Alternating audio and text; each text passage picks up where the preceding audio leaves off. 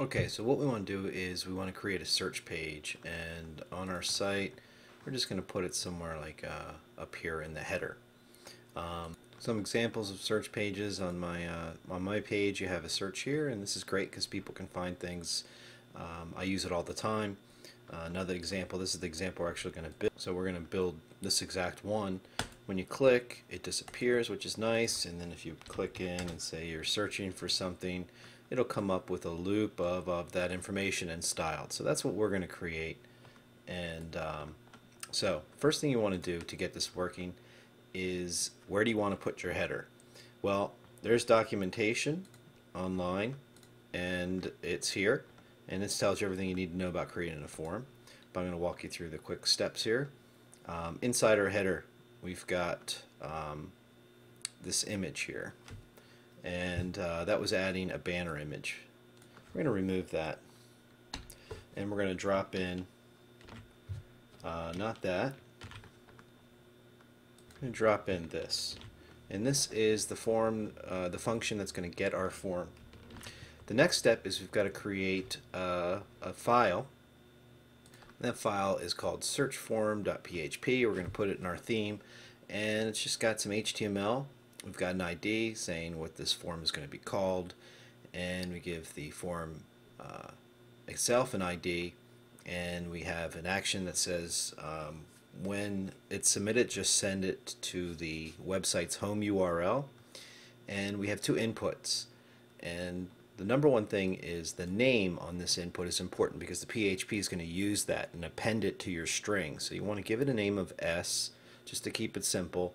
You're also going to have a submit button. And in this example, I'm tying it to uh, a transparent PNG and I'll explain this um, as we move forward. But so this is our uh, our HTML and now we are going to see what it looks like in our page. And when we refresh our page we lose that banner which we really didn't need anyway because it was a background image. Uh, we should have added that with CSS. So why don't we do that now.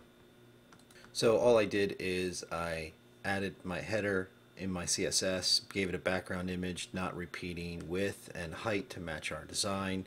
And then when you view the page, it's back to the way it was before, except we got a search box in there, and this image isn't clogging up our structure. It's where it should be because it's purely aesthetic and it's in the CSS.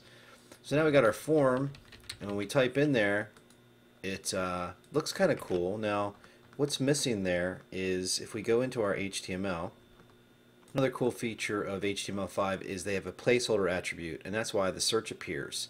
Um, now what we want is when we click the search to disappear and the person can type in and when we click out or blur uh, it appears again. So focus and blur on the form we want that to work.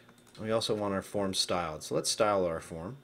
So I created two images from Photoshop. I had a PSD and I just uh, basically created this and and I made a JPEG Normally I make it a PNG, but I wanted it to um, fit in with the gradient background and the JPEG was uh, what I chose in this case. I also have a transparent image.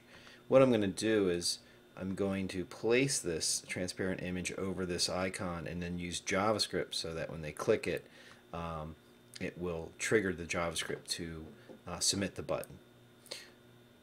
Next thing is in the CSS, I point to my image, position it, don't repeat it, give it a width and a height. The width is 226. Then I got to work with the input box and I make that transparent. I don't give it a border. Um, whatever text is going to go inside it, I give it this color. I'm going to float it left. Uh, the position is going to be kind of small. Um, height and the width here is 155. And this is a trick um, in order to get that transparent image working. And then um, my submit button I'm spacing it out taking the border off of it. And the last thing is the text color. Because I'm using placeholder I want to style it for both uh, all the prefixes. So that's all done there. Um, and let's see what it looks like. Okay so that's the style and uh, I click in there. The text doesn't disappear. We have to fix that. And this uh, this isn't working um, so we're going to continue that in the next uh, screencast.